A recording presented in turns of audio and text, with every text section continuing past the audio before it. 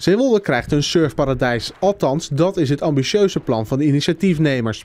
En het wordt niet zomaar een surfparadijs. In een bak wordt een kunstmatige golf opgewekt waarop surfers op een bord hun hart kunnen ophalen.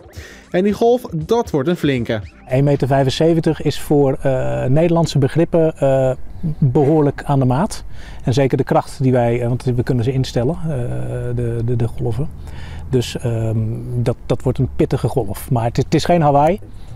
Australië misschien, maar het zal meer Portugal-Frankrijk-stijl zijn. Robin van Rossum zag zo'n bak op YouTube en dacht dat moeten we in Nederland ook hebben. Maar die beachhouses hadden we voor die verhoging gepland, toch? Ja, maar uh, dat, dat, ze moeten wel een bepaalde hoogte zijn. Ah, okay. Die twee meter, maar de provincie zei 2 meter is een robuuste ja. hoogte. Dus dan kun je nog wel beachhouse en nog een beetje verhoging Ja, uh, maken. ja, dat is wel mooi, ja. Hij kwam in contact met Willem van Zel van Eemhof Marina in Zeewolde. Dat is een zeer geschikte locatie voor zo'n surfparadijs. In de omgeving is namelijk al veel watersport te vinden. Als je kijkt dat het uh, langs het water een bak komt, alsof die er thuis hoort. En uh, ja, dan zie je plotseling zie je dan mensen uh, golfsurfen. Hoe exotisch kan het? En dat midden in Nederland.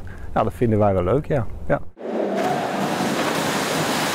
Op de Eemhof staat al een surfsimulator, een veel kleinere dan het nieuwe plan, maar groot genoeg om de beginselen van het surfen te leren. Nou ja, de machine levert 300 pk. Het water komt met 60 km per uur uit, uh, ja, uit de machine. En die gaat de baan op en daar proberen wij uh, zo leuk mogelijk op te surfen. Het nieuwe project krijgt dus veel grotere golven. Dennis Huurman kan niet wachten om daar te surfen. Ja, fantastisch. Ik denk dat ik uh, daarmee nog meer schik ga krijgen. En ik denk dat je dan ook veel meer uh, de gasten ook ja, de, de, lessen kunt geven die ze verdienen. Ja, en ja, dat is het leukste aan, aan het beroep.